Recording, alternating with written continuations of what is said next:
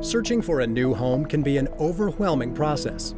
Where you want to live impacts what opportunities are available to you and your family, such as commuting for a job, what schools your children attend, and neighborhood safety. Housing discrimination can throw additional roadblocks into the process and may prevent people from accessing the homes and communities of their choice. The Fair Housing Act is a federal law that prohibits discrimination in housing based on race, color, sex, religion, national origin, disability, and familial status. This video is related to familial status discrimination, how it is defined by law, what discrimination might look like, and what steps you can take if you have faced discrimination. The Fair Housing Act protects families from housing discrimination. Families are defined to include any person under 18 living with a parent or person with legal custody, pregnant women, and people in the process of adopting. Examples of actions that would violate the Fair Housing Act include steering families away from certain units or parts of their property. I love this view. My kids will love it too. Sorry, but we have a policy against renting these top floor units to families with young kids because of safety issues. Restricting children from using certain facilities or services. A landlord can, however, have restrictions regarding safety to comply with local ordinances. Having restrictions on children's belongings.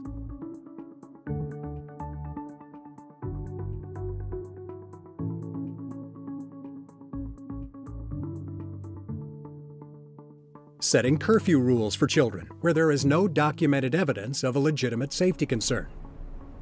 You know the rules. All kids under 18 have to be inside after 9 p.m. Head home.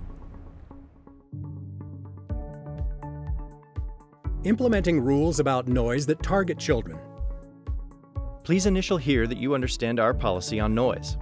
It says there is to be no loud or boisterous activity on the premises, no loud music, no vehicles with loud exhaust systems, and no noisy children. Placing unreasonable restrictions on the number of people who can reside in a rental unit. I'm sorry, but this is only a three bedroom unit. There really isn't enough space for four kids. Under the Fair Housing Act, owners and managers can develop reasonable limits on the number of people who can live in a rental unit, but that limit should not be less than two people per bedroom and must take into account other factors like the size and layout of the home. A landlord refusing to rent to a family because they have children.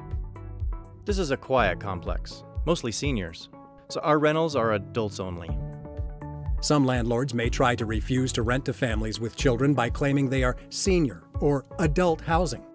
Only properties that comply with all of the requirements and verification rules of the Housing for Older Persons Act can limit rentals to people age 55 and older. Homeowners Association rules that prevent the same use and enjoyment of a common area for a child.